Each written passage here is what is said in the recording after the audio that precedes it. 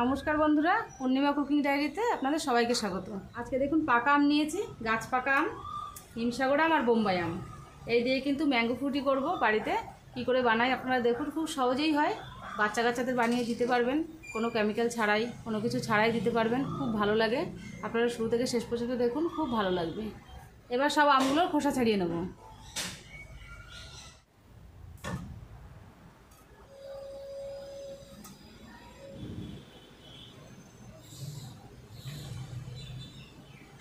আমার সব খোসা ছাড়ানো হয়ে গেছে।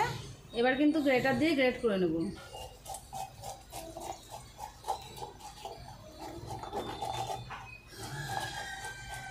আপনারা পিস পিস করে কিন্তু মিষ্টিটা দিয়েও করে নিতে পারেন, অসুবিধা নেই। আমগুলো কিন্তু সব গ্রেট করা হয়ে গেছে, দেখুন কতটা বেরিয়েছে।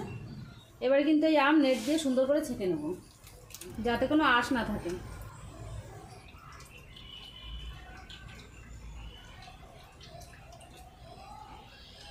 দেখুন আমের কিন্তু সম্পূর্ণ রসটা বের করে নিতে হবে এইভাবে, চিপে চিপে।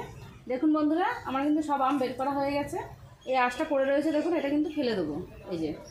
এবার উনানটা ধরিয়ে নেব।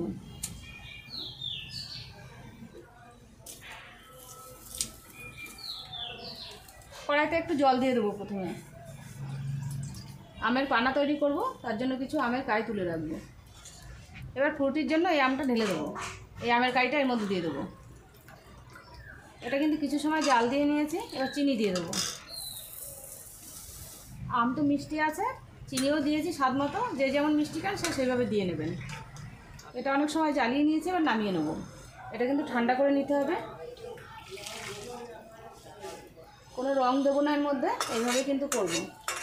বাড়ির বাচ্চা কাচ্চা খায়, ওদের খুব ভালো হবে তাহলে, কালার দিলে কিন্তু ভালো লাগবে না। দেখুন বন্ধুরা, আমের কাই রেখে দিয়েছিলাম, সেটা কিন্তু এখন আমের পানা তৈরি করব, খুব অল্প সময় হয়ে যায়। খুব ভালো লাগে। আপনারা দেখুন, প্রথমে এর মধ্যে চিনি দিয়ে দেবো। টক দই দেবো কিছুটা। আমুল দুধ নিয়ে এসেছিলাম কিনে, সেটা দিয়ে দেবো। এটা ভালো করে এবার গুলে নেব।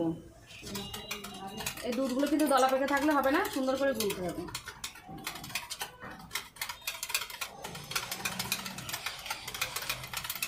দেখুন বন্ধুরা, এটা কিন্তু গোলা হয়ে গেছে দানা দানা নেই, সব গুলে দিয়েছি। এইভাবেই গুলে নেবেন। আর দেখুন এই যে, এত গরম পড়েছে, দেখুন, জল গলে গেছে বরফ থেকে এতে কিছুটা দিয়ে দেবো আপনারা যদি ফ্রিজে রেখে খেতে চান, তাহলে এর মধ্যে একটু ভিনিগার দিতে হবে। দেখুন, এটা রেখে দিয়েছিলাম, ঠান্ডা হয়ে গেছে। এবার এর মধ্যে যে, বরফ জল আর একটু বরফ আছে, এটা দিয়ে দেবো ঢেলে। আপনারা এইভাবে বানিয়ে কিন্তু বাড়িতে বাচ্চা কাচ্চাদের খাওয়াতে পারেন, তাহলে আর কিনে খাওয়াতে হবে না। খুব ভালো লাগে। এটা কিন্তু রেডি হয়ে গেছে, এবার ওর মধ্যে ঢেলে নেব। আমার ম্যাঙ্গো পুরোটি রেডি হয়ে গেছে। দেখুন কত সুন্দর লাগছে। দেখতেও খুব সুন্দর লাগছে, খেতেও আশা করি খুবই ভালো লাগবে। আপনার বাড়িতে এইভাবে বানিয়ে খেয়ে দেখুন, খুবই ভালো লাগবে। আর ভালো লাগলে অবশ্যই কমেন্ট করবেন, কেমন লাগল। আমের পানা এটা কিন্তু রেডি করা হয়ে গেছে। এবার এর মধ্যে ঢেলে নিচ্ছি।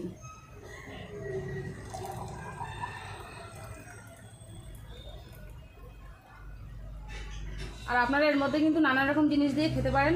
কেউ ওর মধ্যে চেরি ফল, কাজু বাদাম কিশমিশ বাদাম এগুলো দিয়েও খেতে পারেন, খুবই ভালো লাগে।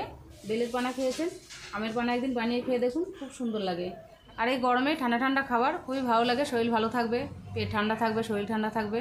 আর এই ম্যাঙ্গো ফ্রুটি আর আমের পানা যদি আপনাদের খেয়ে ভালো লেগে থাকে, তাহলে অবশ্যই অবশ্যই করে সাবস্ক্রাইব করবেন, লাইক করবেন আর সবার কাছে শেয়ার করে দেবেন। আর যারা ফেসবুকে আমার ভিডিওটি দেখছেন, আমার পেজটি অবশ্যই ফলো করবেন। আর কমেন্ট করে জানাবেন কেমন লাগল খেতে। তাহলে আমি কিন্তু সব জানতে পারব আমার রান্নাটা কেমন হয়েছে। আজকে এখানেই শেষ করছি। সামনে আরেকটা নতুন রান্না নিয়ে আপনাদের সামনে আসব। কি মধুমাখা এই ঝুলনো পূর্ণিমারাতে